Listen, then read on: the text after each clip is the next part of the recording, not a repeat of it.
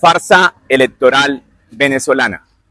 El régimen de Nicolás Maduro, a través del Consejo Nacional Electoral, determinó el pasado 5 de marzo que el 28 de julio de 2024, fecha en la que Hugo Chávez hubiera cumplido 70 años de edad, se lleven a cabo las elecciones para elegir presidente de Venezuela, periodo 2025-2031, anunciando también las fechas más importantes del cronograma electoral.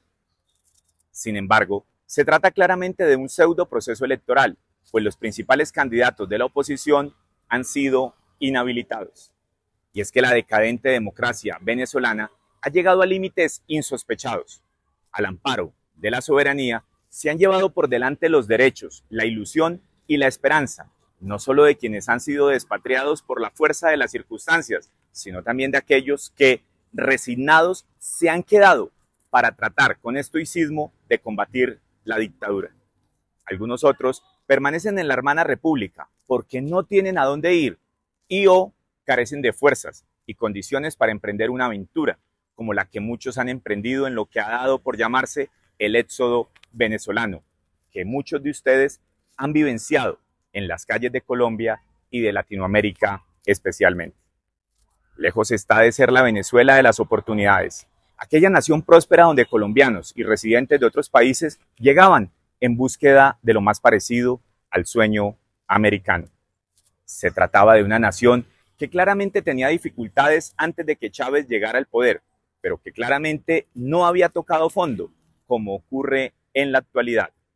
De hecho, el desgaste de partidos políticos anacrónicos como Acción Democrática, también conocido como ADECO, liderado en ese entonces por Carlos Andrés Pérez, y el Comité de Organización Política Electoral Independiente COPEI, liderado por Rafael Caldera, quien por cierto le entregaría el poder a Hugo Chávez, sirvieron de caldo de cultivo para que este último, en 1999, se juramentara como presidente sobre, en sus propios términos, la moribunda constitución venezolana.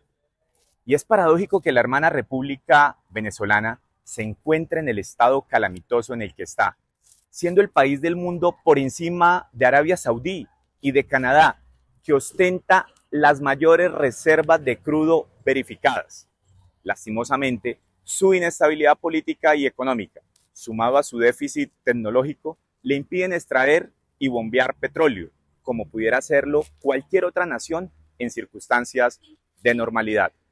La Venezuela de hoy es el resultado de una desafortunada desgracia que se llamó Hugo Chávez, quien junto con Nicolás Maduro y con Diosdado Cabello promovieron procesos populistas inconstitucionales que llevaron a desdibujar la separación, la autonomía y la independencia de los poderes públicos, entronizando una dictadura.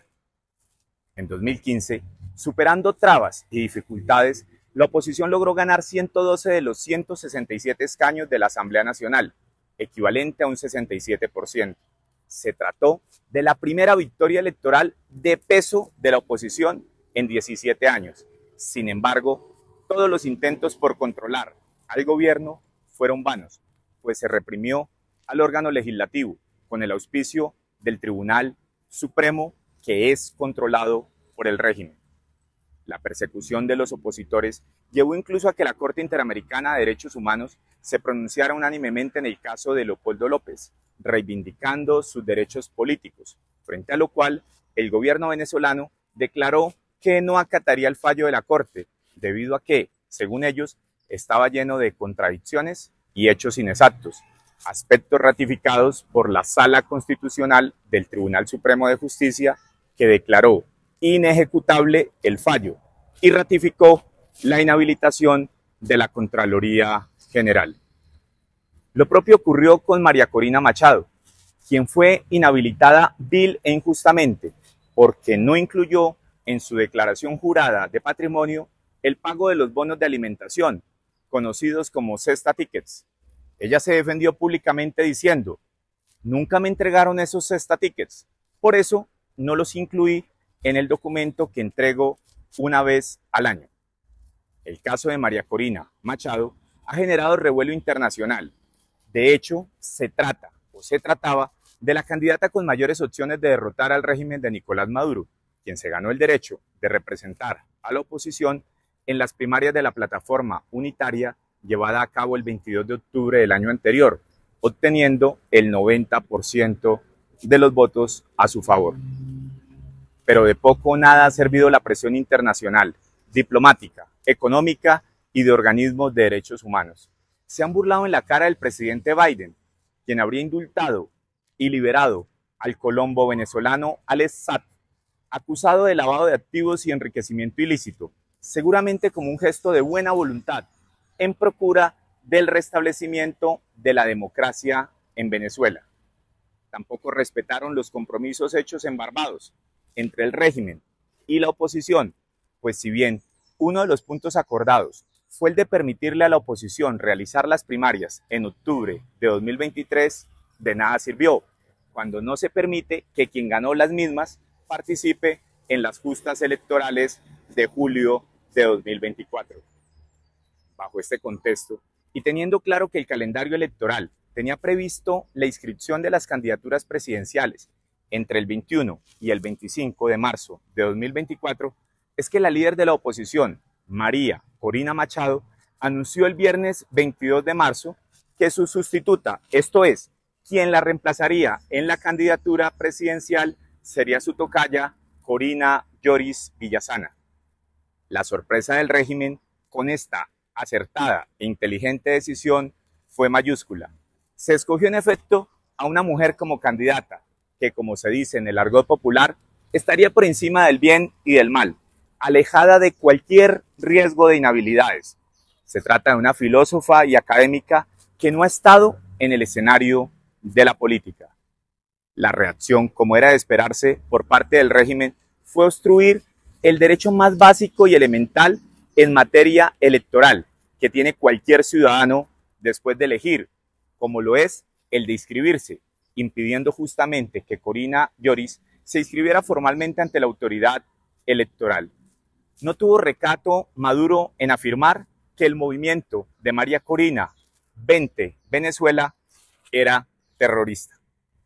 Se ha logrado consolidar así un autoritarismo electoral en Venezuela que cierra la posibilidad de que la oposición sea competencia seria y real en las elecciones, pues algunos de los candidatos inscritos no son conocidos ni tienen posibilidades, y otros, un poco más reconocidos, como Manuel Rosales, generan dudas e inquietudes en la misma oposición por su presunta cercanía con el régimen.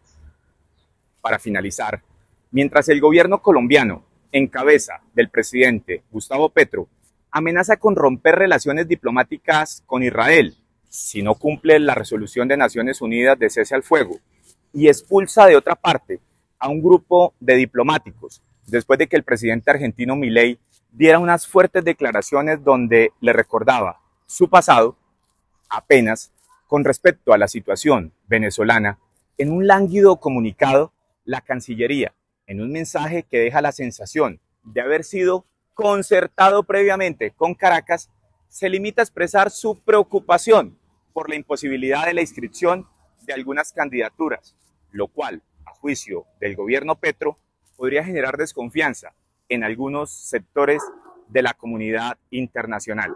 Eso sí, se encarga de subrayar y expresar que es respetuosa de la soberanía y autonomía del pueblo venezolano. Ahora se visto. Como quien dice, el gobierno colombiano, en medio de su treta, dejó la consabida constancia histórica y para completar el ardid, Venezuela protesta por el mensaje de Colombia, calificándolo como un acto de grosera injerencia.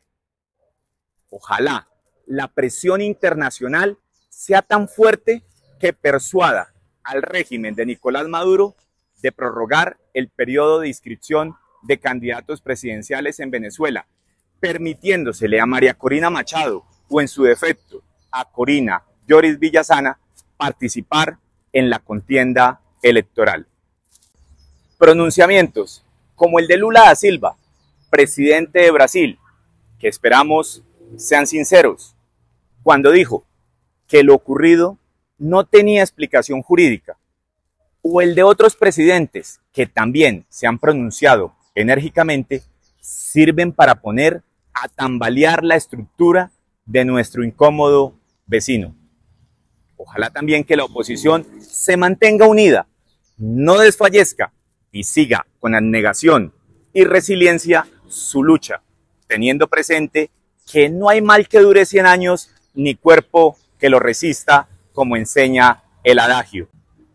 Es hora de que la comunidad mundial mire hacia América del Sur y especialmente hacia Venezuela, pronunciándose de manera unívoca y sincera, rechazando al unísono este despropósito antidemocrático que podríamos llamar, sin temor a equivocarnos, remedo de democracia o farsa electoral venezolana. Bueno, bueno, ¿sitio para almorzar? Listo. ¿Reserva en el hotel? Paga. Uy, ¿fiesta para esta noche? Ok. Si viajas por el país de la belleza, planea tu viaje tranquilo. Conduce responsablemente y cuídate, que nosotros también te cuidamos con tecnología en seguridad vial para que llegues sano a tu destino. En la vía, juntos cuidamos la vida. Colombia, potencia de la vida. Agencia Nacional de Seguridad.